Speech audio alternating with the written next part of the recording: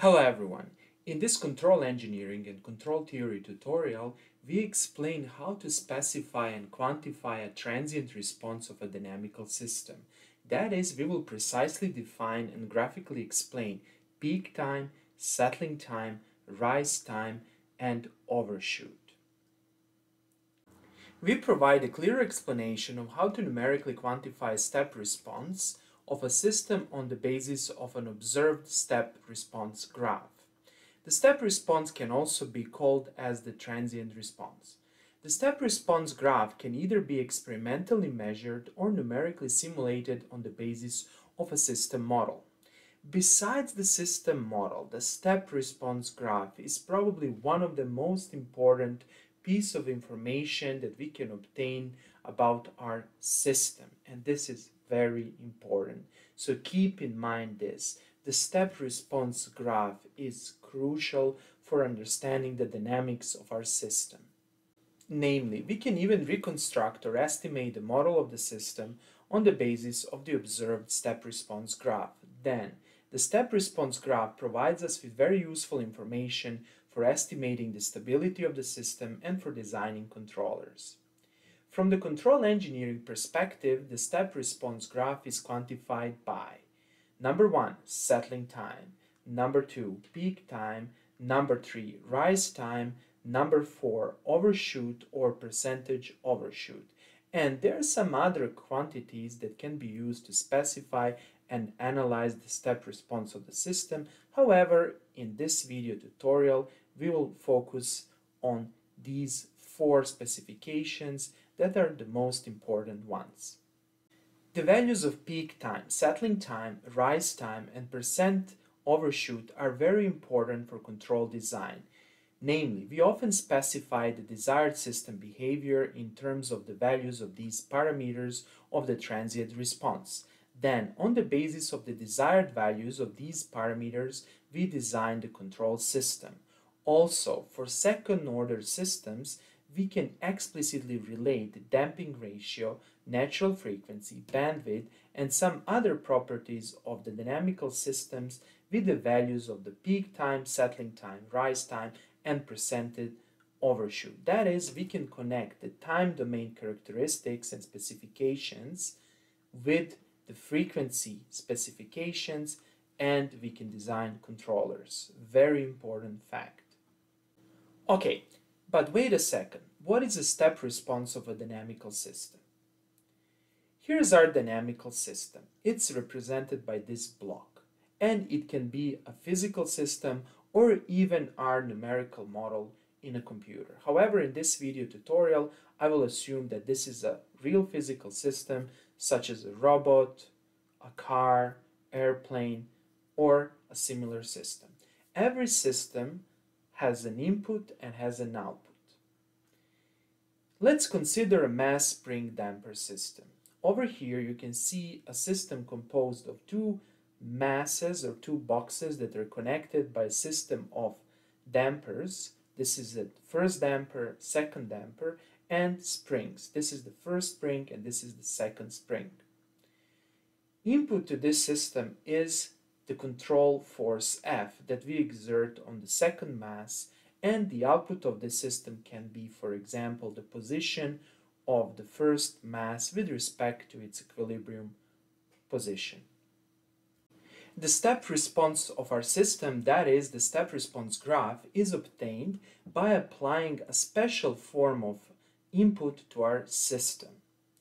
If we mathematically represent this input as a mathematical function and if you plot the graph of the function then the step function looks like this.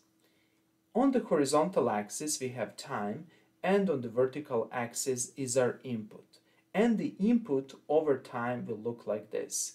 Before zero time it will be zero and after 0, including 0, it will assume some constant value and it will stay constant for time larger than 0. Usually this can be a unit step response or you can modulate the value of this amplitude and can be for example 10, 20, 30 or whatever you need to excite your system. This function is called the step function or the Heaviside step function and we apply such a function to our system. In case of the mass spring damper system, the force F will assume this form. That is, the force is going to be 0 before time 0 and after time 0 and including time 0 it's going to assume a constant value. Then when we apply such an input to the system, system will react and if we measure for example the output of the system, that is in this case mass spring damper system, if we measure the position of M1, we will see that the output in time will behave like this. It can, for example, oscillate and then oscillations can die out after some time. Of course, this is just one form of the output of the system and the shape of the graph.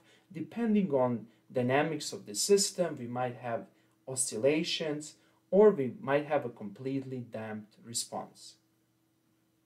This graph over here is called the step response graph. That is, to summarize, the step response graph is obtained by applying a step or a Heaviside step function as an input to our system, then we wait for the system to respond. While the system is responding, we record the output of the system. And that's it. We obtain the step response graph. How do we compute the step response graph, for example, in MATLAB? First of all, we need to specify our transfer function. Here it is. And here's how we do it in MATLAB. Over here, I am parameterizing my transfer function by using the damping ratio and the natural frequency, and I'm defining a transfer function over here. You can assume any values for wn, zeta, and we use the function tf. Then we simply compute the step response by passing to MATLAB's function step our transfer function as an output we are going to obtain the actual output of the system and the corresponding simulation time. And after that we simply plot time and the output and we will obtain, for example, a graph that looks like this. Now that we understand what is a step response of the system, we are ready to define the settling time. For that purpose, let's consider this graph.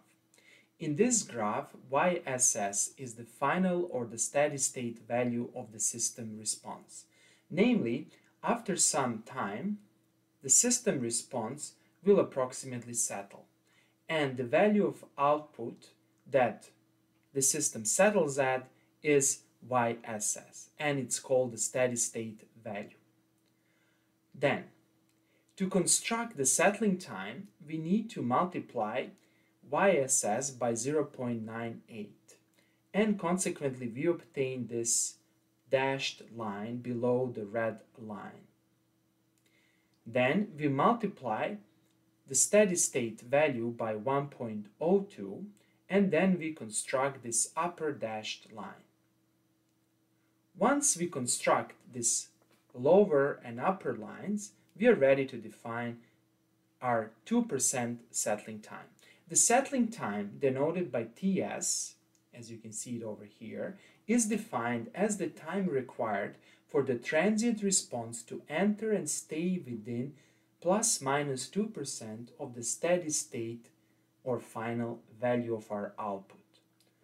Again, the settling time Ts is defined as the time required for the transient response to enter and stay within plus minus 2% of the steady state or final value. So how do we graphically find our settling time? Well, we just follow our response. The response goes like this, goes like this, goes like this, and then we can see over here, once the response is decreasing, it enters this tolerance that's being bounded by this upper line and the lower line. And I will call this tolerance as a tunnel. That is, our step response enters the tunnel. And if the step response stays within this tunnel after this time, then this settling time will actually be this time over here. However, this is not the case in this graph because, because we can observe over here that our response goes down and then it slightly, slightly exits over here in this region, this tunnel. However, after this TS time, it always stays inside of the tunnel and consequently TS is the settling time. Here are a few important comments about the settling time. First of all, in a similar manner and spirit to this definition, we can also define plus minus 5% settling time. Then obviously the definition of the settling time implicitly assumes that the system reaches a finite steady state. This implicitly implies that the underlying system is asymptotically stable. And you can see over here that this is the case. As demonstrated in this figure, we can construct the settling time by first drawing a horizontal line starting from the steady state value of the response. Then we'll simply offset this line plus or minus 2% to obtain an interval or this tunnel. Then we search for intersection of the system response with a plus minus 2% horizontal line such that the response enters and never leaves the tunnel after the intersection point. And this time corresponding to this intersection point is our settling time. And this is what we also explained previously. Next, let's define the peak time. The peak time, denoted by Tp over here, is defined as the time required for the system to reach the maximum overshoot. That is, we simply define the peak time as the time corresponding to this peak. Simple as that. And the system can actually have several peak times. Over here we will have another peak time. However, here it's implicitly assumed that this is the maximum peak time. Next, let's define the rise time. For that purpose, let's observe this graph. Then the rise time is the time required for the system response to go from 10% to 90% of its final or steady state value. So how do we find the rise time? First of all, we identify the steady state value, then we construct 10% of the steady state value, here it is, then we construct 90% of the steady state value, here it is, and then we simply find the time difference between this point and this point, and that's precisely our rise time. Now we are ready to define the maximum overshoot. Maximum overshoot is simply called as overshoot. The maximum overshoot or simply overshoot denoted by MP is defined like this. MP is a difference between the maximum value of our response and the steady state value, and that's our peak time. Over here, in this definition, Tp is the peak time for which the step response achieves the maximum value. YSS, as mentioned previously, is the final or the steady state value of the step response, and YTP is the maximum of our step response. Next, we can define the maximum percentage overshoot. The maximum percentage overshoot denoted like this, m with the subscript percent p is defined as mp, that is this value divided by yss and multiply by 100. For example, when someone tells you 10% of overshoot, you know that basically this value is, for example, 1.1 and this value is 1. So 1.1 divided by 1 will give you that thing. Okay, and that's it. Thanks for watching.